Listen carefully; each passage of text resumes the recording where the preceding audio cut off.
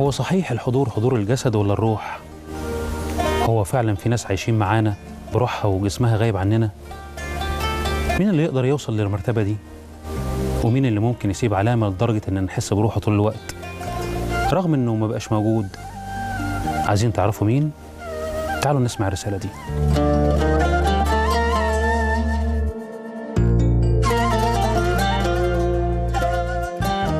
إزيك يا محمد يا ابني؟ أنا عايزة أقول لك إن ابني بطل. استشهد عشان إحنا نعيش وبلده تعيش. سبتنا ومشيت لكن أنت عايش جوانا. بس وحشتني قوي. ورمضان ده هتخيلك قاعد قاعد على كرسيك في الفطار. ومش هصدق ابدا إنه فاضي. وأنا متأكدة إنك في مكان أحسن. بس بتوحشني بتوحشني قوي. ولازم أعرف الدنيا كلها. ابن الشهيد ضحى بنفسه وبأرواحه عشان إحنا نعيش. ولو عندي عشرة هخليهم يضحوا بأرواحهم وبنفسهم عشان بلدهم وعشان ربهم.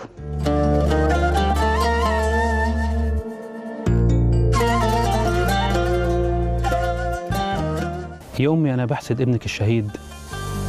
ساب الدنيا ومشي ومش فاضل منه غير ذكرى. وحبة وجع في قلوب اللي حبوه وشاركوه لحظات حياته لكنه ساب فخر في عيون ولاده وأهله ووطنه. يمكن اختفى بجسمه لكن روحه عايشة وسطنا وحاسة بالدفى وشايفنا ومطمن علينا من بعده. حاسس بالدمعة اللي بتنزل من عينيكي. حاسس بالابتسامة اللي بتترسم على وشك لما بيتقال عليه لفظ شهيد. عارفين لو الشهيد اتكلم هيقول إيه؟ هيقول يا ولادي ويا أهلي عارفين أنا مت ليه؟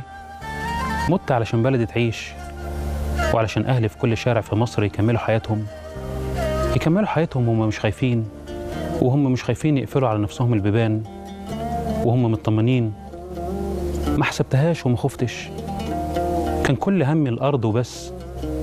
عقيدتي كانت حمياني حتى في لحظات الخوف.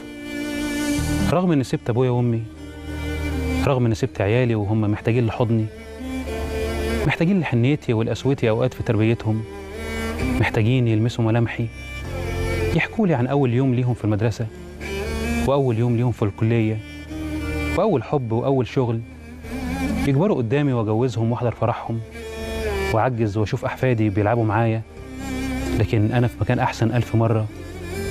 ابنكم ضحى بدمه وبروحه علشان وطنه ودينه وابدا ما كانش خايف. كان واقف بطل في المواجهة بدون ما يرجع خطوة لورا. وأنا عيني في عيون اللي بيكرهونا اللي عايزين يسرقونا ويسرقوا أحلامنا.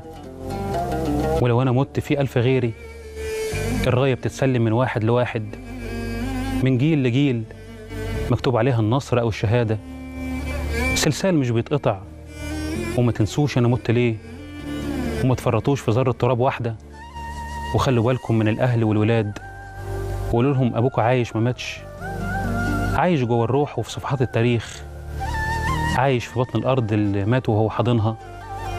ولو رجع الزمن ألف مرة هاخد نفس القرار لأن الجنة تستاهل. علموا ولادكم يعني إيه كلمة وطن؟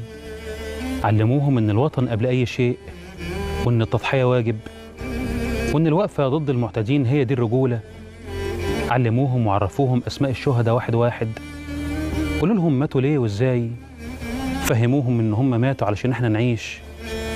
فرجوهم حرقة قلوب أمهاتهم عليهم.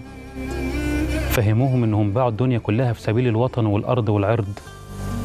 علموهم إنهم لازم يكملوا من بعدنا. ويستلموا الراية مننا بكل يقين وثبات. يصلبوا ظهرهم ويقفوا بصدرهم في مواجهة أعداء الوطن اللي عايزين يكسرونا ويكسروا فرحتنا. عرفوهم مين العدو ومين الحبيب. قولوا لهم إن الأرض دي مروية بالدم. وإن انتصاراتنا كلها كانت من صلب نفوس عندها عقيدة عقيدة ما يهزهاش جبل. ماتوا يمكن لكن عايشين. الجنة ما فيهاش موت والشهيد شايفنا من مكان أحسن. ومين هيحمي البلد دي غير ابني وابنك؟ مين هيشيل علم الأرض دي في قلبه ويبوس ترابها؟ ويحميها بروحه. فهموا ولادكم إنهم مسؤولين وإن كل حتة فيهم اتبنت من خير الأرض الطيبة وإن الأرض دي اتدفع ثمنها بالغالي قوي. دم وعرق وكفاح. وإن اللي انتصروا كان إيمانهم أقوى من السلاح اللي شايلينه وإنهم أملنا ومستقبلنا وإننا محتاجينهم ومستنيينهم. إلى اللقاء.